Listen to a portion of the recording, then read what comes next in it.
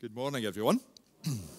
Very warm welcome to you this morning as we come to share in worship together and also later on in our service to share in the sacrament.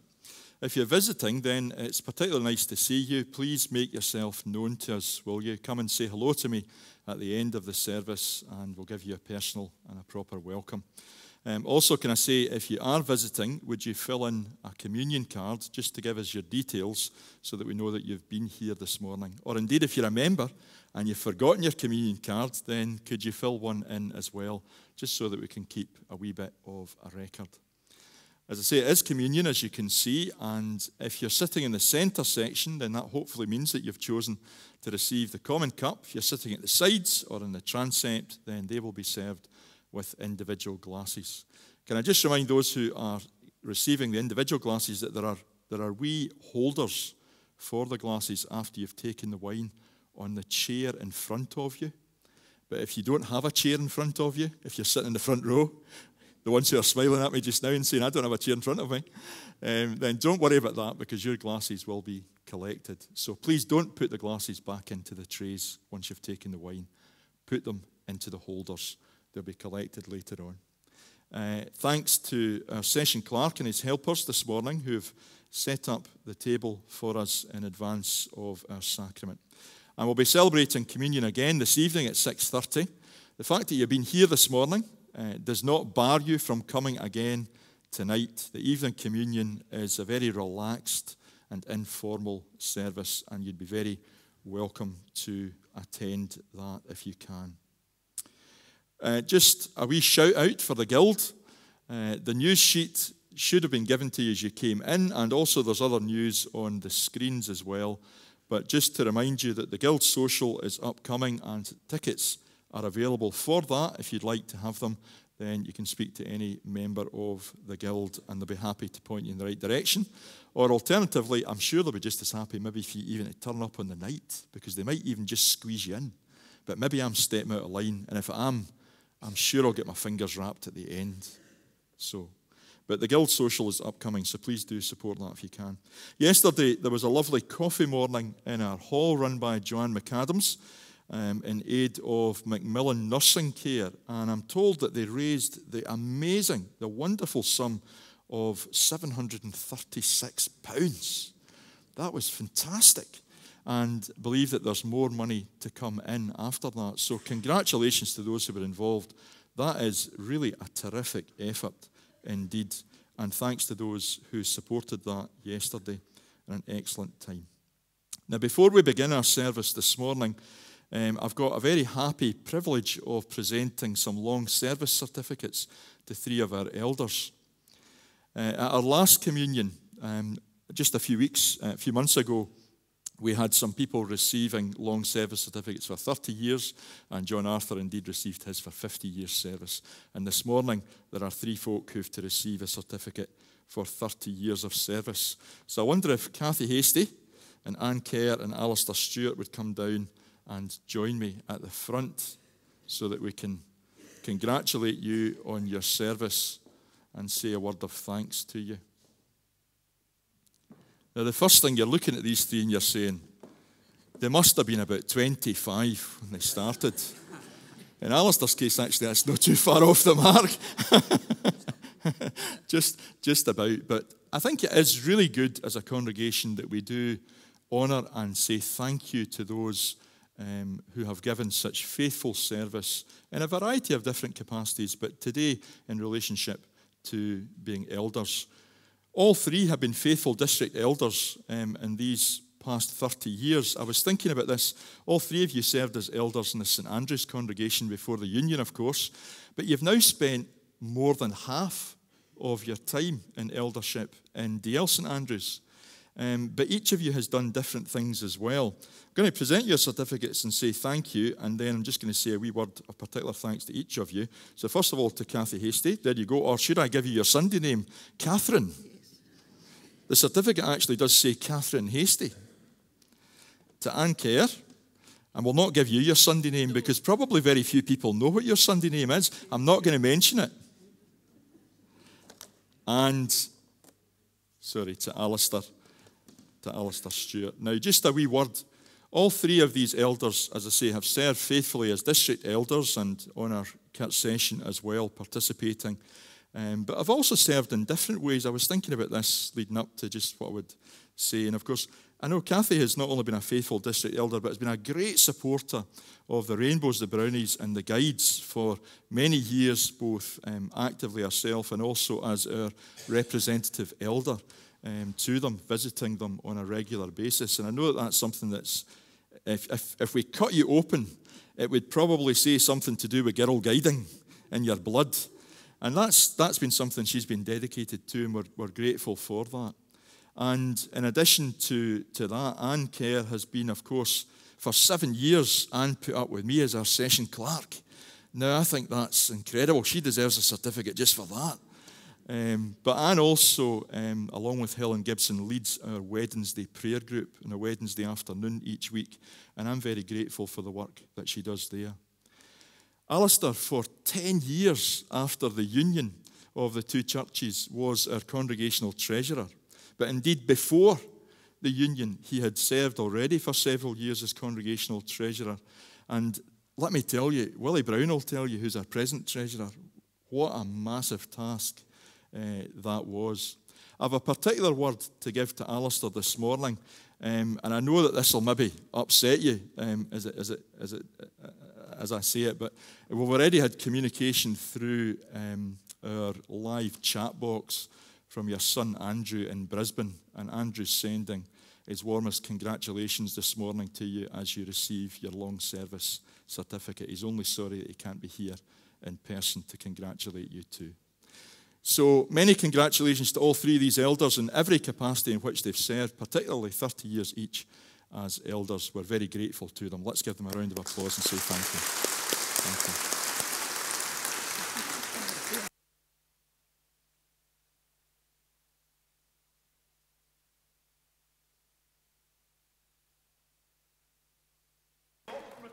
We've to get a photograph. I everything's got to be photographed. Hold your certificate round so that Crawford can see it. That's it. Is that you? You want?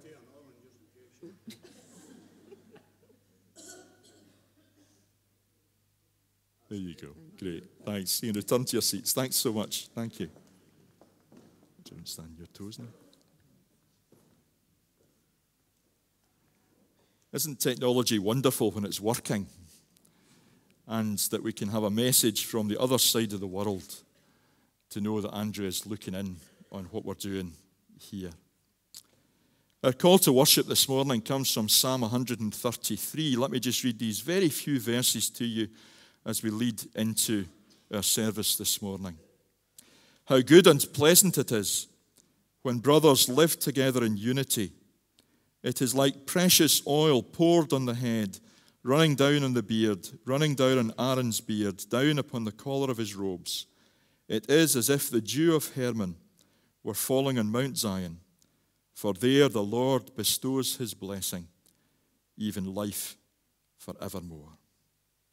Well, it is good that we've gathered together in unity around the Lord's word and at the Lord's table to bring the Lord the praise that he deserves. Let's worship God in our opening hymn.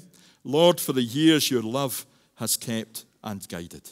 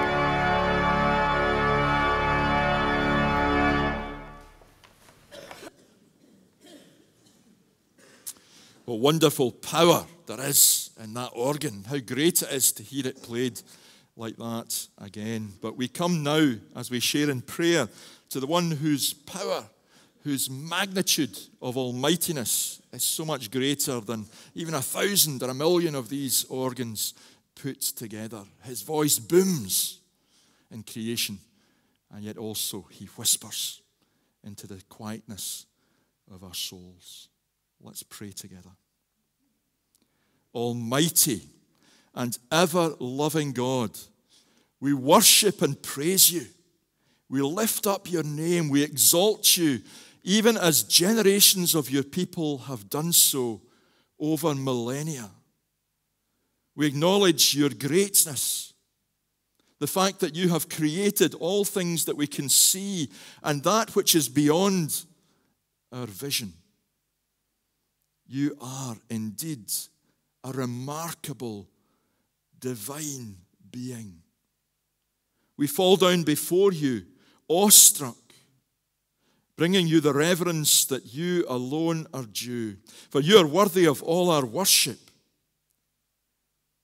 The great hymn writer has said it Oh, for a thousand tongues to sing my great Redeemer's praise. And yet, if every tongue on earth, seven billion of us, joined together with all those who have ever lived down through the centuries, then our praise would not be loud enough or good enough to say just what you mean to us, what you have done, and who you are.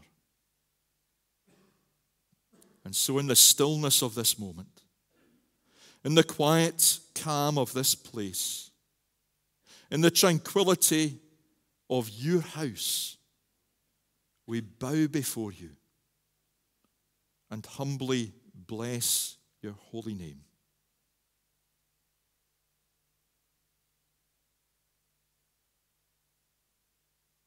Conscious of your perfection we come as those who are bound to confess our sin, our shortcomings, our failings, our imperfections. In truth, Lord, even since we last met for worship a week ago, there have been so many things which have passed our lips or which we have done or left undone, which were we to name them before you, and list them, we would be here for the whole of this hour of worship and perhaps longer still. Yet you know because you look deep into our hearts and spirits, our thoughts, you know the ways in which we do wrong and fail to do right. And knowing that, yet you still receive us to yourself through the grace of our Lord Jesus Christ, through that unconditional and amazing grace and love you've shown us in Him. Thank you. Thank you for the forgiveness which is so readily available to us and which we so need. For a fresh start, for a new beginning, for knowing that today, yes, we will do bad, but we will also do good empowered by your Spirit. May the good outweigh the bad, we pray, Lord, that we may bring glory to you and see your kingdom advanced and built among us. Lord, we bless you as we meet in the name of Jesus, and we thank you for the blessing that you give to us in that most precious name. Hear our prayers. For his sake and for his glory, we ask. Amen. Our Bible reading for this morning is from John's Gospel, and there in chapter 13. We read the verses 31 to 38, a fairly short passage, but that doesn't make it any less challenging. John chapter 13, reading from verse 31 through to the end of the chapter, verse 38. Let's hear God's word to our hearts today. When Judas Iscariot was gone, Jesus said, Now is the Son of Man glorified, and God is glorified in him. If God is glorified in him, God will glorify the Son in himself, and will glorify him at once. My children, I will be with you only a little longer. You will look for me, and just as I told the Jews, so I tell you now where I am going, you cannot come. A new command I give you love one another. As I have loved you, so you must love one another. By this, all people will know that you are my disciples if you love one another. Simon Peter asked Jesus, Lord, where are you going? And Jesus replied, Where I am going, you cannot follow now, but you will follow later. Peter asked, Lord, why can't I follow you now? I will lay down my life for you. And then Jesus answered, Will you really lay down your life for me? I tell you the truth, before the cock crows, you will disown me three times. Amen. And we give thanks to God for this reading from His Word. Let's sing the hymn Love is the touch of intangible joy. Love is the force that no fear can destroy. If you're following in the CH4 hymn book, it's number 115.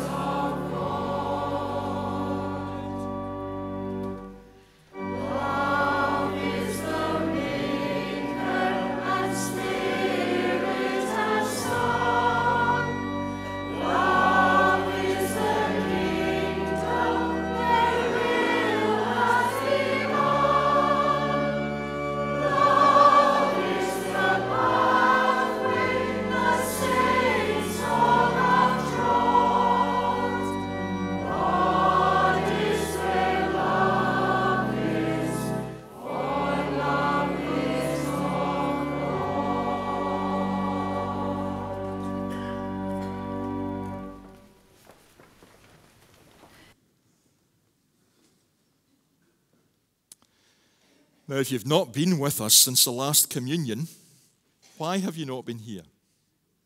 Because you should have been, because we've had several months in between. But I'm not trying to make you feel guilty. I'm just reminding you of the promises that you made when you became a member of the Church of Scotland. Or perhaps you're a visitor and you only come occasionally. Well, that's different from being a member.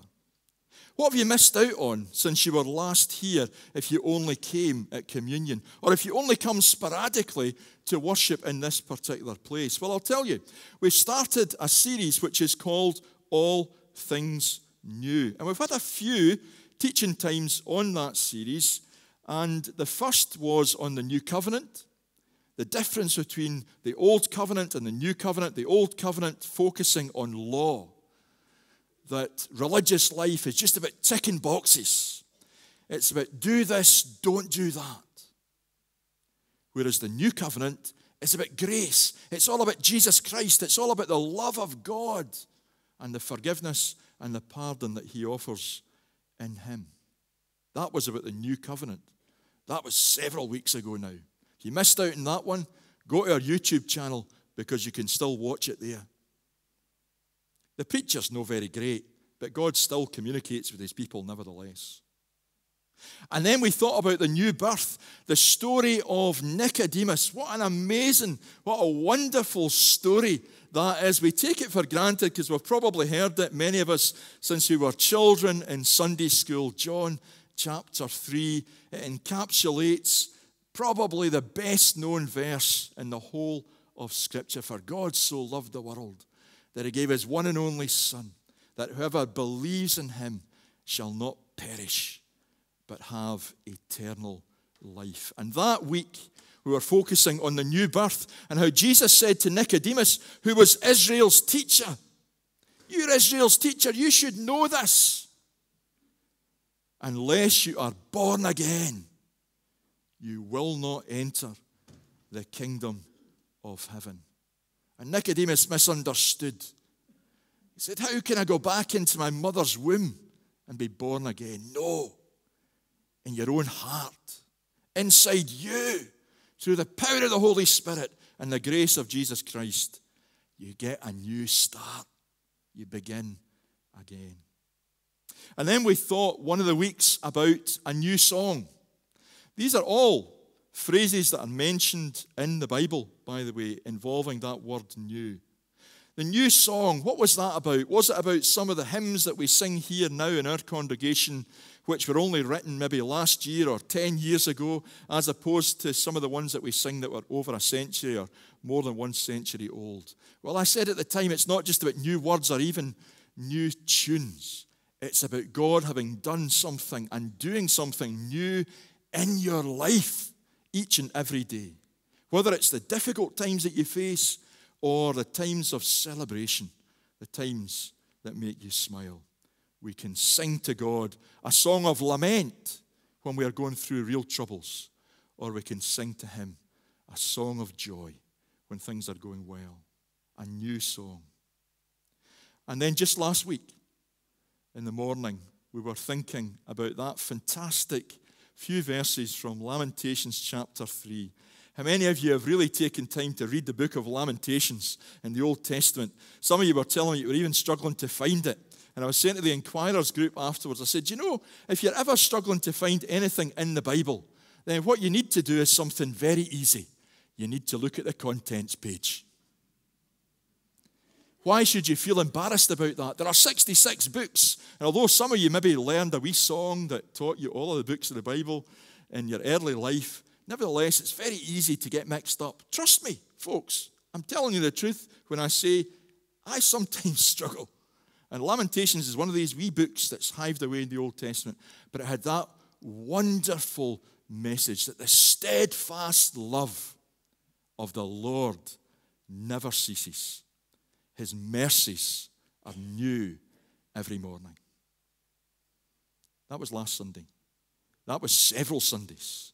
So that brings you up to speed. So, where are we at today? Well, we're at something that if I had asked at the beginning of this series entitled All Things New, if I'd asked you to say, what does the word new mean to you in Bible terms? You'd probably have come up with these verses from John chapter 13. It's probably the best known bit of the Bible, other than maybe sing a new song unto the Lord, which mentions that word new. And you might have said to me, Jesus taught his disciples a new command. Indeed, you might even have been able to recite these verses without thinking too much about them. And that's precisely the point of returning to them today. Because sometimes when you can rhyme off Bible verses so easily, then it hasn't necessarily sunk as deeply as it ought to have into your psyche, into your soul. So I return you and myself to these verses that Jesus spoke to his first followers today. Because, do you know, these verses, when they were first spoken, were radical and actually remain so if we don't just believe them, but we try to practice them. If they affect our behavior on a day in, day out basis. Radical because, believe it or not, as far as we can tell, in terms of the history of literature, the sayings of wise people down through the ages, this is the first time, really, things were put in this way. This is a new command that Jesus says he gives to his followers. And when you hear the word command, you naturally, perhaps in your mind, start to think about the book of Exodus. And you go back to the Ten Commandments, which of course were given to Moses on the mountainside while the people were already disobeying them down at the foot of the hill. So, is this new command of Jesus in John 13 just a summary of the Ten Commands that God already gave through Moses to his people? Or at least, is it a summary of some of them? Because you could say that when Jesus spoke to the crowd and he said, You shall love the Lord your God with all your heart and soul, mind and strength then that was a summary of the first few commandments, where we are reminded that we are to worship one God, that we have to have no one above him, that we have to honor his name, and that we have to honor his day. But then when you look at the remaining commandments, 5 through 10, you might think, well, actually, the command that Jesus gives in John 13 is a bit of a summary of those. I'm thinking about do not murder. Do not bear false witness. In other words, don't tell lies. Don't covet. Don't lust after something or someone that someone else has in their life. Don't steal. There's lots of do nots in there in the Ten Commandments. Is this new command of Jesus just a summary of that? Well, actually, no, I don't think it is. I think it goes much further than what we have in the Old Testament. In a very challenging way, in an all encompassing way, in a way that expands the scope dramatically and that's why I said a moment ago this teaching of Jesus was radical at the time he gave it, and it remains radical today. What is new about this command to love one another? Because that's the kind of summary of what Jesus is saying in these verses of chapter 13 of John. What is new? Is that not just the same as don't steal from someone? Don't lie about them. Don't besmirch their character. Don't murder. Don't transgress against their person. Well, actually, what's new is this All of that was put in the negative, if you like. So we could say, do you know, I'm doing okay because I haven't murdered anybody. I haven't committed adultery. I haven't broken into someone's home and stolen their possessions. Okay, I gossip a wee bit sometimes. And I say things that I maybe shouldn't eh, about people behind their backs. But all of that is in the negative. What you're saying is, I can tick, tick all those boxes. So actually, I'm okay. What Jesus is saying in this new command that he's giving is that it's supposed to be in the positive. Not just that you're meant to do no harm to people, but you're actually actively meant to do good to them. Do you see what I'm saying? Do you see the difference? It's a very clear and important distinction. It's put in the positive rather than in the negative. And this command, and it is a command, is not only given once in these few verses, read it again. It's given three times. Love one another.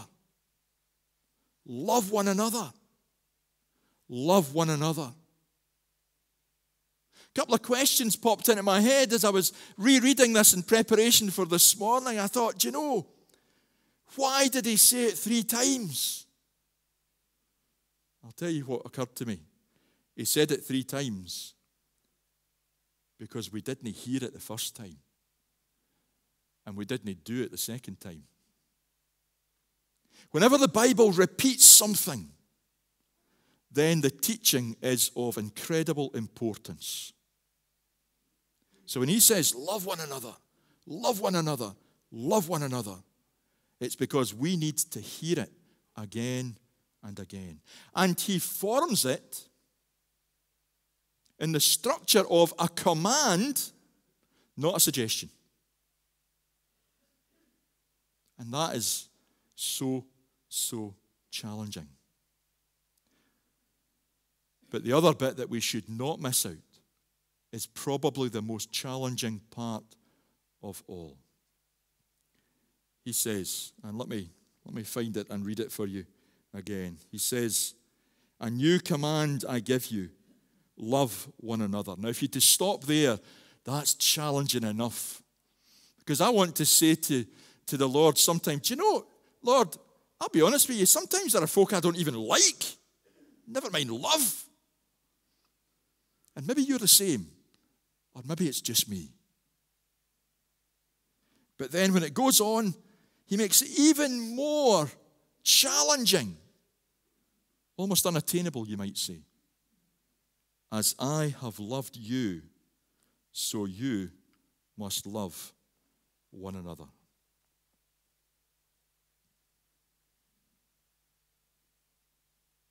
As I have loved you, so you must love one another. How did Jesus love? It's tempting, isn't it, to rush ahead to Calvary and to think about the cross and to say, well, there's the fullest extent of his love. Who was it that said, I can never remember, I must look it up sometime. Who was it that said, it wasn't the nails which held Jesus to the cross at Golgotha, but his love for mankind? It's too easy to rush ahead to that. But even, yet we're not at that bit in the story yet in John's Gospel. Reflect back on what were the disciples thinking at that time? Well, actually, he'd just washed their feet. He'd just predicted his betrayal. He'd just told Simon Peter that he wouldn't be nearly as good as he thought he was going to be, and that he was going to say, I don't know him and deny him. And yet, every one of these disciples, including Simon Peter, who denied him, including Judas Iscariot, who betrayed him, including James and John, who argued over who would sit at his right and his left hand when he ascended to heaven and the kingdom was established, including every one actually who deserted him at some point. Jesus loved them. He washed their feet. That's the context of this. That was a menial task that should only have been done by a servant at that time. And yet Jesus did that.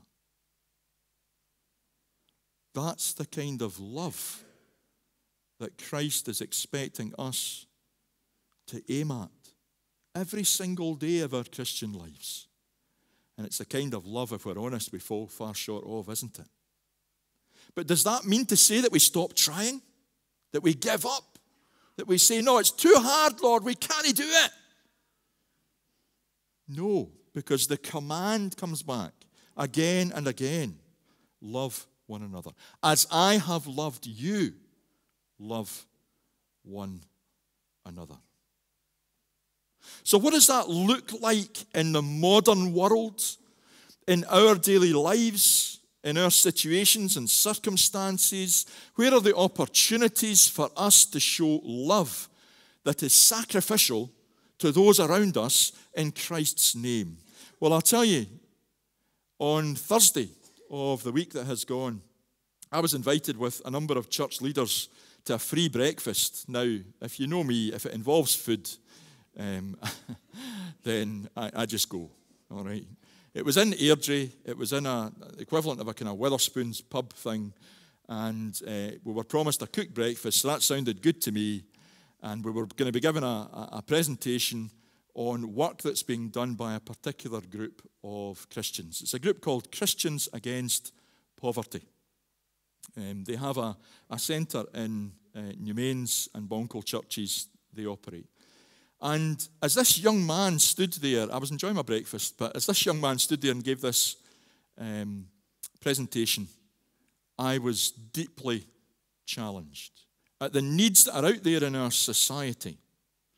We're not talking about the developing world, we're not talking about um, you know, people that we, we give through the likes of Tearfund just a couple of weeks ago at our Harvest Service to Support. We're talking about people in our society who are living in poverty.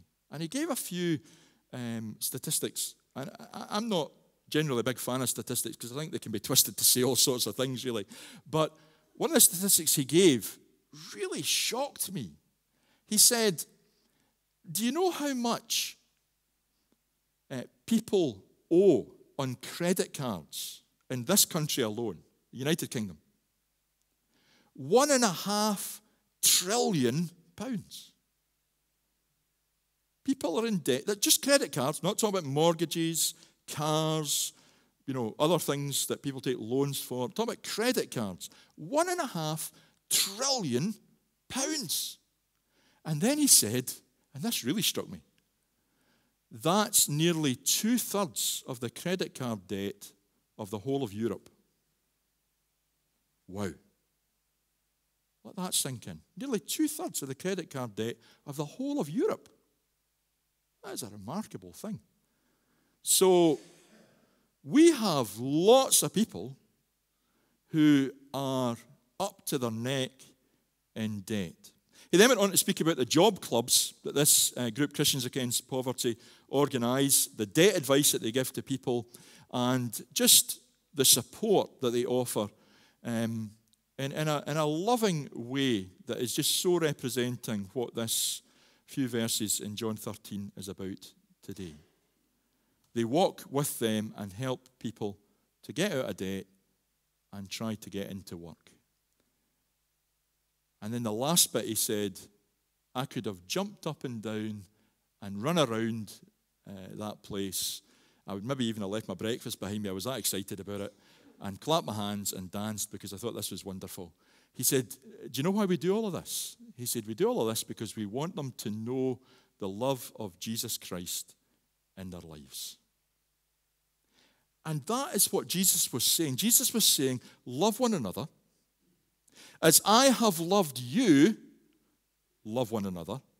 And then the final bit is, as you do that, people will know that you are my disciples. These verses are so well known that we actually sing them to a modern chorus.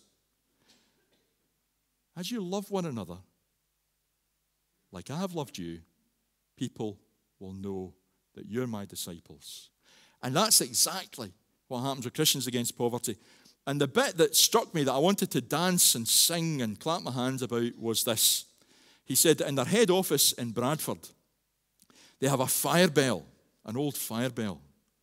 And every time a story comes in from around the, uh, the, the, country, and they also offer this service in Australia and in New Zealand as well, is every time a story comes in of an individual or a family who have come to know the love of God in their lives, who've come to faith and who've joined a local church through the support that they give them, through debt advice and trying to help find a job, that kind of thing. Every time a message like that comes in, they ring this fire bell. And everybody in their office stops and they gather round and they offer a prayer to God to say thank you that someone knew, or more than one person, and he said, Listen, this bell's getting rung quite often, uh, that has come to know and experience the love of God. Christians Against Poverty is something that you might want to get involved in. You can look it up on the net. It might be something that will be coming to Motherwell. I'm already speaking to one or two folks about it. Be good to do something because in our society and in our town, there is very great need. But it might not be something you'd be involved in. So, what are you doing to show the love of Christ to others? Every time you see somebody that's a wee bit tottery wanting to cross the road, and you're bold enough to give them your arm and help them across the road, you're showing the love of Christ. Perhaps your neighbour has been sick or bereaved, and you take them a wee casserole. That's you showing the love of Christ. There are so many day and daily ways that we can. I'm a bit old fashioned. If I'm on a train, which is not very often, I admit, and there are no seats left, and a woman or an elderly person comes onto the train, I automatically get up out of my seat and give it to them. How many of us still offer these common courtesies, which are ways of showing the love of Christ? The song says, what the world needs now is love, love, love. And it sure does. This table, as we come to celebrate the sacrament in just a few moments, is about precisely that. It's about the love of God in Christ for his people. That's the vertical dimension of the cross. But it's also about us sharing with those around us and those out with this building. That's the horizontal dimension of the cross. That's how we take up the cross that Jesus challenged us to do every day and follow him. Love the Lord your God with all your heart and soul, your mind and strength. Love one another as you love yourself, but also love one another as Jesus has already loved you. For then all people will know that we are his disciples. Amen. We now bring our offerings for the work of the church in the world. It's not just an offering to support the minister's wages. More importantly, it's an offering that reaches out in love of Christ to people who have real needs in our society and in our world.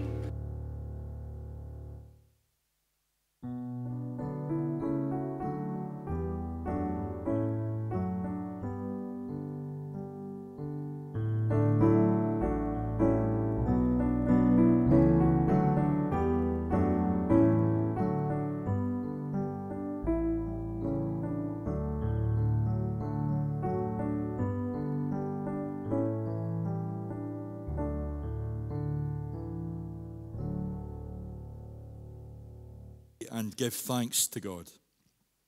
We do give you thanks, dear Lord, for the ways in which you bless our lives and for the opportunity to come through this offering, both of money and of praise and prayer, to give you what you alone are worthy of.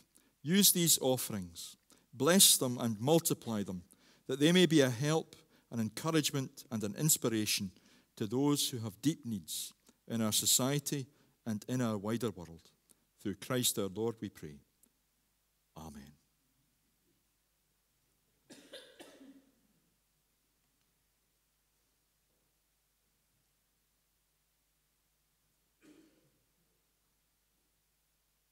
This is the table of our Lord Jesus Christ. It is open to those who, in sincerity and truth, seek Him, who come to express their love for Him and come to receive from Him the love that he longs to pour out upon them. On confession of your sin, there is an automatic pardon from the sacrifice that Jesus has already made on the cross at Calvary. This is not a sacrifice. The sacrifice is the worship that we bring to Him to acknowledge and to say thank you for the ultimate sacrifice He has paid on our behalf on the cross. Let's worship God in our communion hymn. In Christ alone, my hope is found.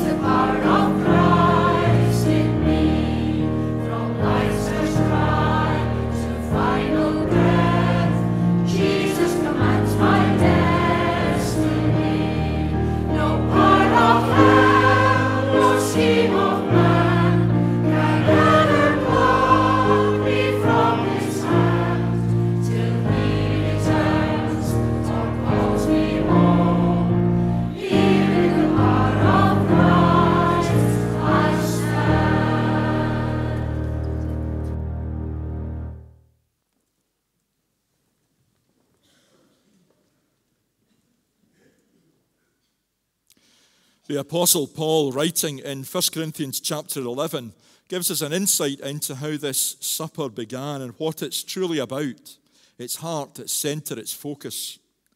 He says, For I received from the Lord what I also passed on to you.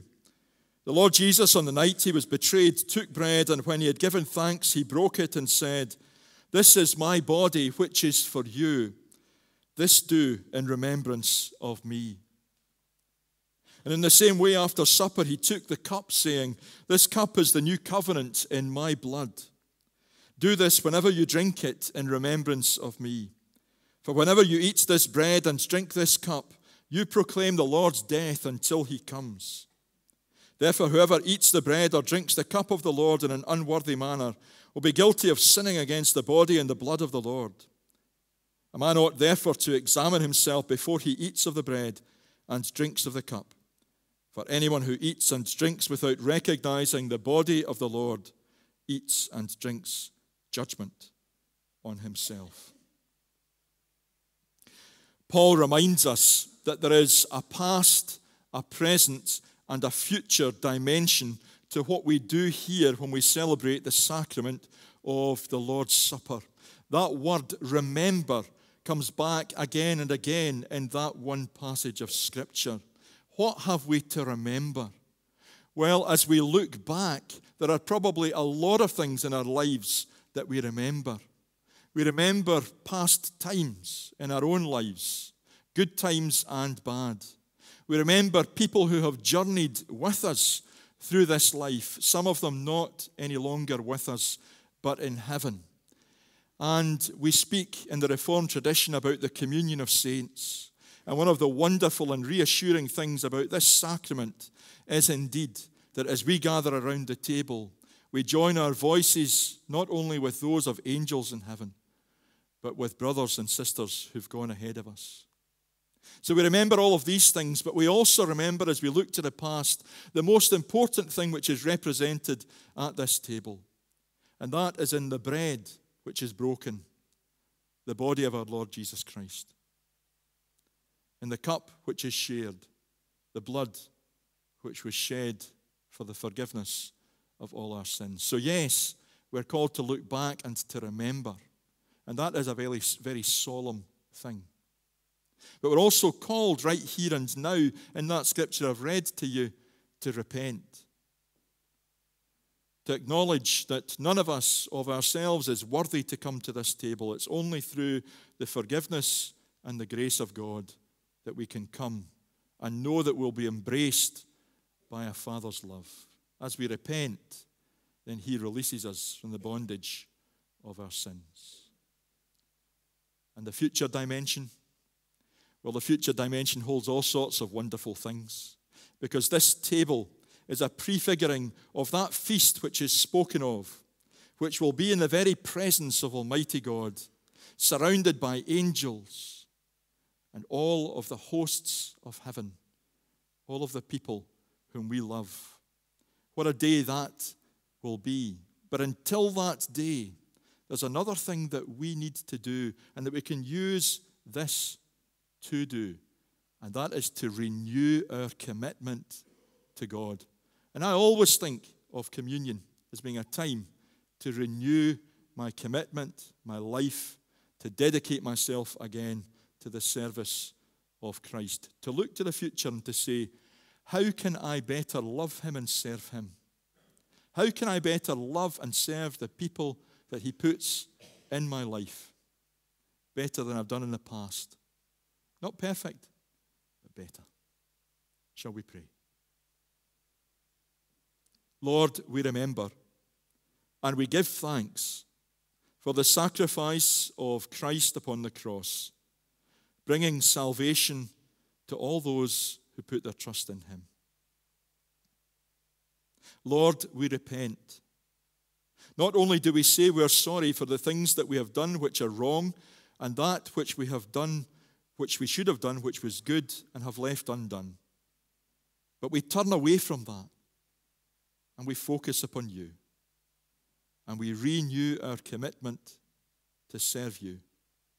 Empower us by your Holy Spirit today as you bless these gifts of bread and wine as we take them into ourselves and receive the spiritual blessings which they represent.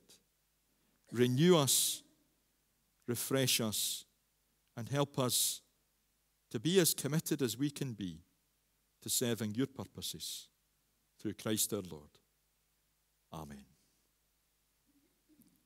As we have heard on the night of his betrayal, Jesus took some bread and when he had given thanks to God, as we have done in prayer, he broke it and he said, This is my body, which is for you. Do this in remembrance of me. Similarly, at the end of the supper, he took a cup of wine, a familiar sight to a group of Jewish men gathered to celebrate the Passover. That looking back to the time when God delivered them from slavery in Egypt. He raised the goblet and showed it to them and said, This is now the cup of the new covenant, a covenant which is sealed in my blood. Whenever you drink from it, do so in remembrance of me with thanksgiving in your hearts. And so, in a moment's quietness together, we remember, we repent, we recommit ourselves in His service.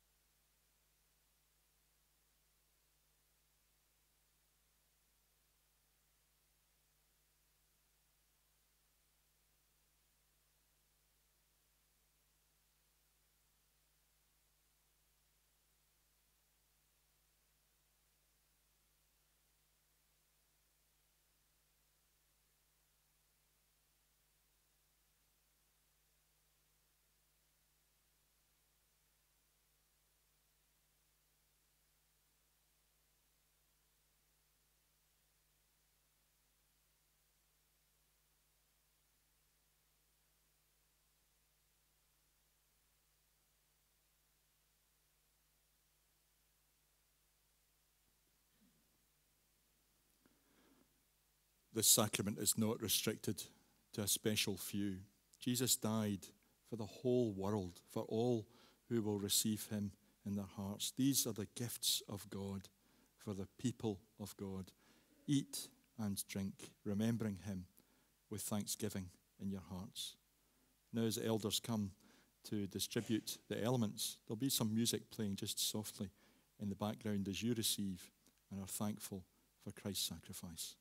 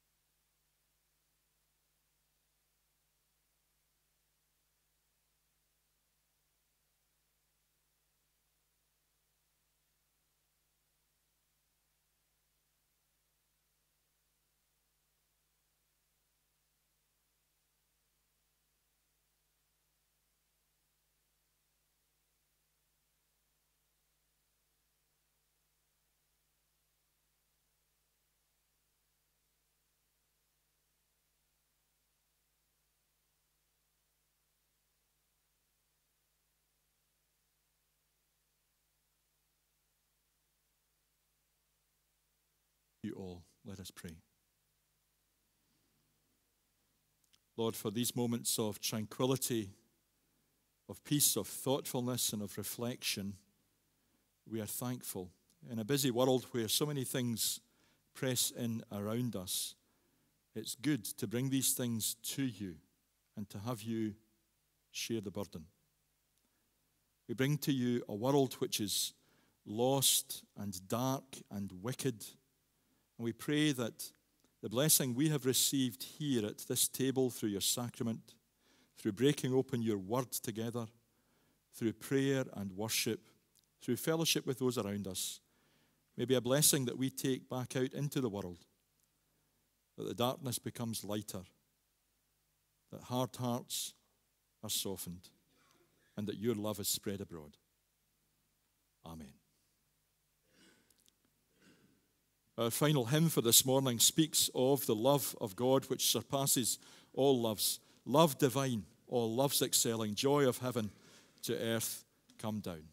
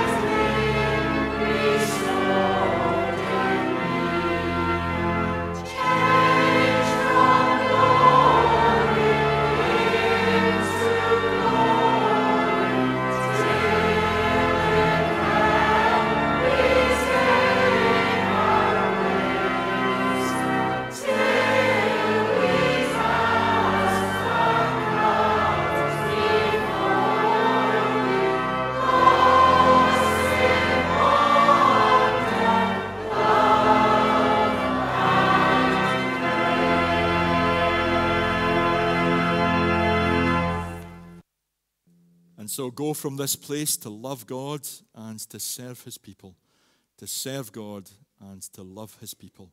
may the blessing of Almighty God, the Father, the Son, and the Holy Spirit rest upon and remain with each one of you and all whom you love in his name, now and always.